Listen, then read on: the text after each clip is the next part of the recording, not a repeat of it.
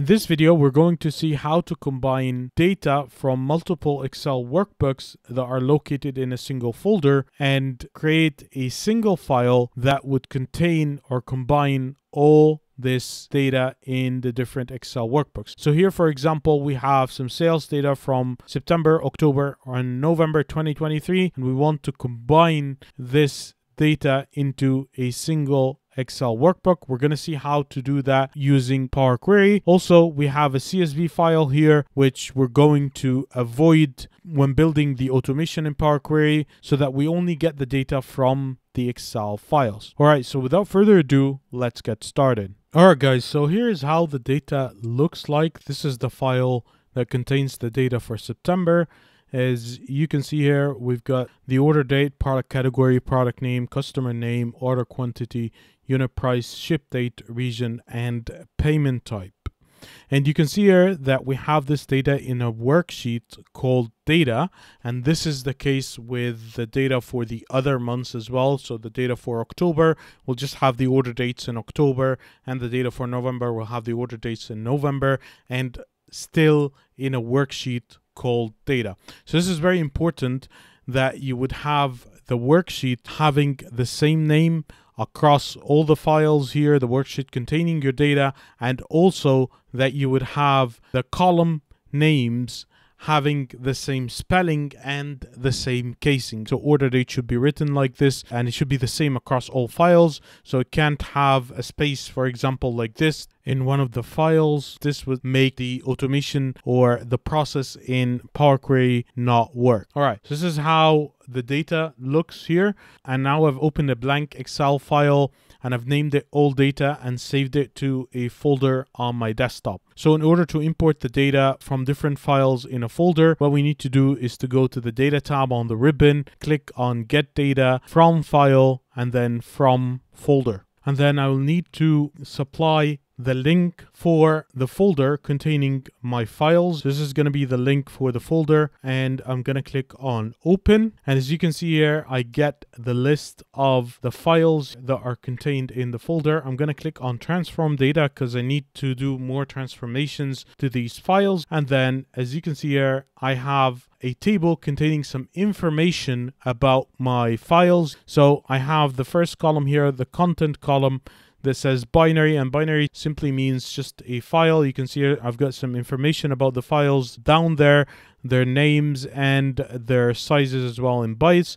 You can see also that I have a name column here that contains the name of the file and part of the files in the folder is that I have a CSV file so I would like to avoid importing this CSV file. So what I can do is that I can filter this column the name column by the file name containing .xlsx which is the extension for an Excel file or an Excel workbook. So I'm going to click here on the filter go to text filters and then contains and I'm going to choose to filter by the file name containing .xlsx and click OK. So as you can see here, I managed to filter for only the Excel files. Now, in order to start the merging or the combining process, I'm going to click on this button here that says combine files. And as you can see here, I'm prompted with another window here. So since the data in all the files is contained in a sheet called data, I need to select that. And as I told you, all the files need to be contained in a worksheet having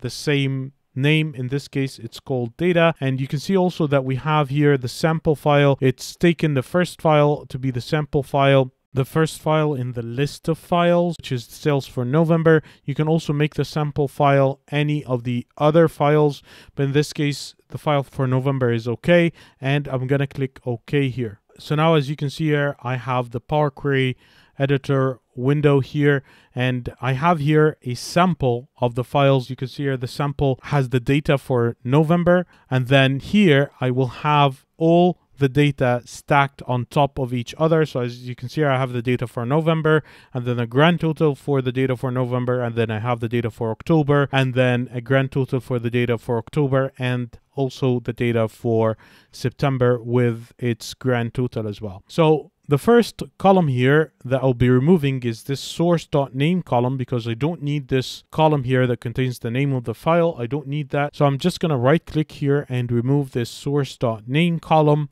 And then here on the order date, you can see here that we have a grand total row here which we can filter off. So I'm going to click here and I'm going to filter off my grand total row here so that it gets filtered off all the data. So it's going to be filtered off the data for November, October, and for September as well. And what is remaining is to make sure that the data types for the columns are correct. So here the order date should be a date data type since it's a date. So I'm going to click on it here and switch to a date data type. And for the other columns here, the unit price should be a currency. So I'm going to select a currency data type. The ship date is a date, so that's okay.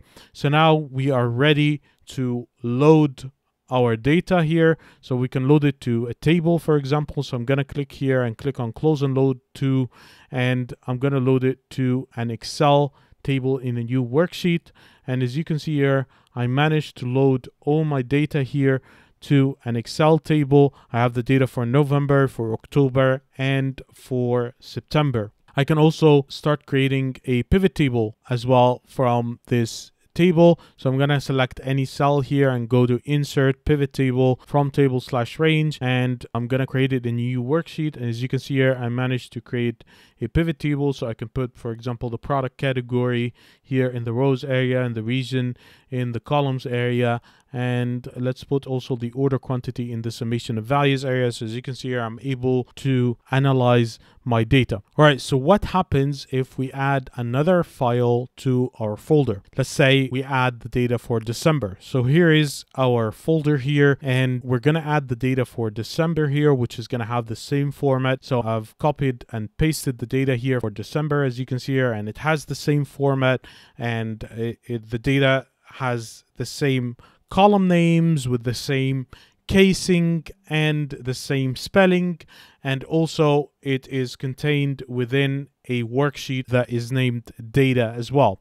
So it has the same format it's just the data for december. So now you will see that if we right click and refresh here the query for the data you'll see here that we managed to load the data for december without any problems there is also something I need to add about the data for December, which is that the data for December has a different order for the columns. So as you can see here, the product category column is not the second column as is the case with the other files. It's actually the eighth column here in column H, but it has the same spelling as we mentioned before. So that is all what matters. So the order of the columns does not matter, but the most important thing is the spelling and the casing, and also that they are all contained in a worksheet with the same name. Alright guys, so what if the column names are different and the sheet names are different as well? Uh, can we make something dynamic so that the query does not break? Well, it's actually possible we would need to intervene using some M code. So if you would like me to create another video about that, let me know down below in the comments section. Alright guys, so this concludes our video today. So if you found the video helpful, please make sure to like and share the video and subscribe to the channel and hit the bell icon to be notified with all future videos. And please make sure to follow us on social media. You'll find the links down below in the description. Thank you so much for watching and I'll see you on the next video.